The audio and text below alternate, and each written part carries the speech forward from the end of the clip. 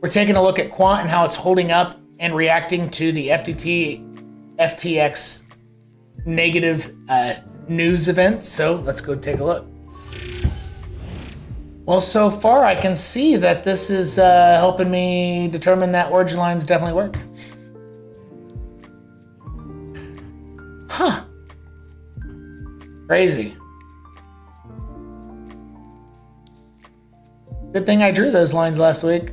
I don't think I had origin lines for this. That's pretty wicked. Okay, but what just, you know, outside of showing off there, okay, whatever, my lines work. But um, we already knew that.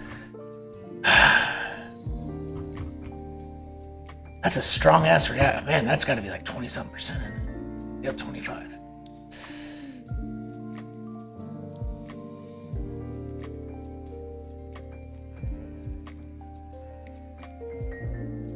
Hmm.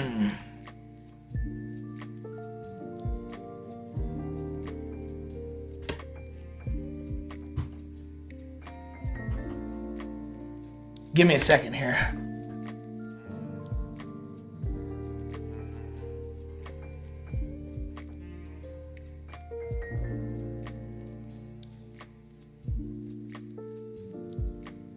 It's not going to go back below that origin line for a while, just like my guess is for BTC.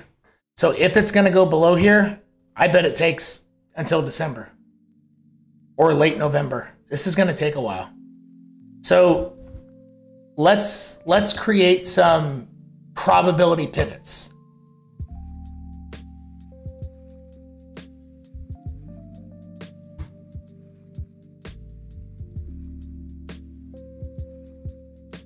when to start trading for the to the downside.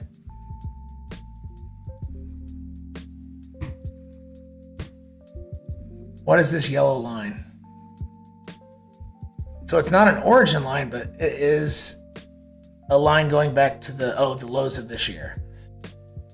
That actually might be pretty important. Um, so one of the lines I'm going to use to try to figure out how can I pivot my positions and my mindset of where uh, this is going? Because right now, honestly, I don't know. This is crazy town for Bitcoin and everything. I don't want to make a specific guess, but what I want to do here is I want to I want to let you know at any moment in time what should I be guessing, or should I guess at all?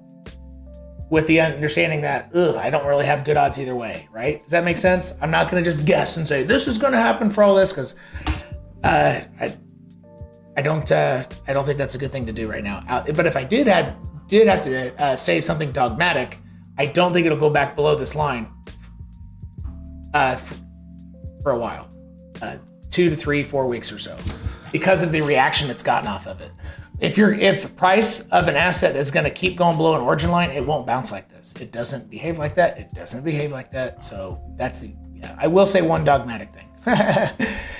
okay, but in terms of trading down on this, I would say that I would wait until that yellow line is broken for now. So that this yellow line goes just connects all the lows from June 2022. So this is your line in the sand. At any snapshot in time, should I be trading up or should I be trading down for just the next 48 to 72 hours as of now. Oops, what did I just do? I would say as long as uh, price is above that, and I can't give you one price because it's an ascending line, right? It, it moves.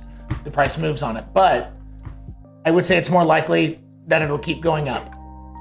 If it breaks below, then it's more likely to, uh, at, at bare minimum, hit this channel line here, which right now is boom. So as of now, hitting this line is not the most probable thing to happen in this very snapshot of time because it's above this yellow line. Make sense? And over time, let's say this comes back up a little bit and goes up here over the next few days. Well, then I'll have to adjust, you know, my pivot points because I'm, I'm talking about price action now. This these uh, these pivot points might not be valid after 48 to 72 hours, right? But for now, I wouldn't expect to move down to 140 until that's taken out. How big of a move would that be? That's not the right thing, Tim. So you'd get another 5% move. But if you're trying to short that, just realize it easily could bounce right there. So don't try to short it into oblivion if you're using that line as a as a stimulus, right? Or a pivot point, which it probably will it will be. Don't try to hold on to shorts forever, not financial advice, because you can easily get a bounce right back in your face. At about 140. And then it's not probable that the origin line will be hit again or approached until this uh, this channel line has been used as resistance or is flown past with velocity. So as of now, it looks more likely that it's going to keep going. It's going to keep chopping around uh, sideways or testing up. Up and, and or sideways as of now is the most probable. When would I look for it to slow down if it does keep going back up? I actually think it could come all the way back up here and still be bearish, uh, you know, into December. So 166.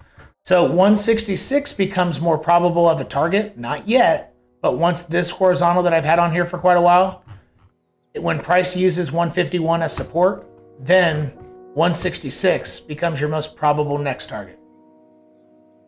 But as of now, it's not the most probable because it's stuck in this, it's in this black freaking triangle that I drew a while back which it would still be in there, or actually it is in there now, but it would have stayed in there had FTX not driven a Bitcoin down like that. That's how I would play this. So right now, this black triangle is your no trade zone. I probably, and when I say no trade zone, it doesn't mean, you know, you can't take on a new trade there. You can't enter a position. Although that's what it suggests, it might not, it might be wise not to, right? Wait till you have a reason to guess. So right now, you don't have a good reason to guess. But after 151 is used as support, you have a good reason to guess to go long to up to this point, up to that line. You have you have an edge, a statistical edge, and buyers on your side that have proven support of the major line. Sellers are going to come into control, and buyers will dip out once this yellow line is broken. So therefore, you'd have a reason to trade down. Although I would be careful for a bounce here, right? Protect myself, take profits, and move stops into profit at that point. But in here, if you're doing it, you're actually, in, you know, according to this analysis, you'd just be guessing. So why not wait to make a trade until you're not just guessing? So that would be my breakdown of quant now that I've had a few minutes to think about it.